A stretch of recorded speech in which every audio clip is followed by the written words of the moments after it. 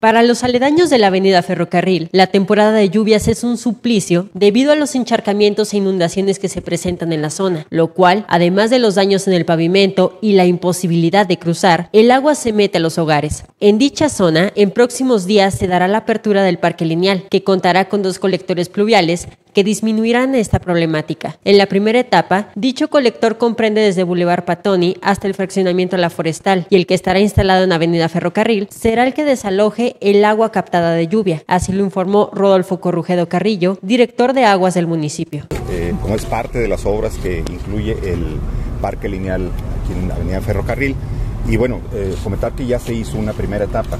Esta primera etapa eh, comprende desde Boulevard Patoni aquí hasta el fraccionamiento de la forestal.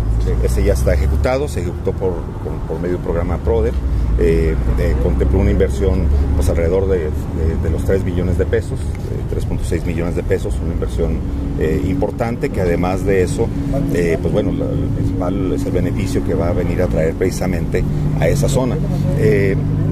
Posteriormente, como parte incluso no nada más de, lo que es la obra del, parque lineal, sino también continuación de ese colector, es el que va a ir precisamente aquí sobre la vialidad ferrocarril. Eh, eh, parte del contempla precisamente el desalojo del, agua de lluvia, pero no nada más del parque, del parque lineal, sino que el agua eh, que se concentra en Boulevard Patoni va a ser captada precisamente por el colector que ya está construido, se va a conducir a este otro colector y pues la idea es llevarlo por todo Vialidad Ferrocarril y pues bueno, en algún futuro eh, pues sería llegar hasta calle Cima, ¿no? Es lo que contempla el proyecto completo del proyector, del, del, colector, pero también sé hay que decirlo, este, eh, eh, ya cada etapa, cada metro, cada tramo que se vaya realizando de este colector, pues bueno, va a ir desalojando agua y va a ir captando agua de lluvia y la va a ir desalojando más hacia allá. Informó para la voz de Durango, Sara Valenzuela.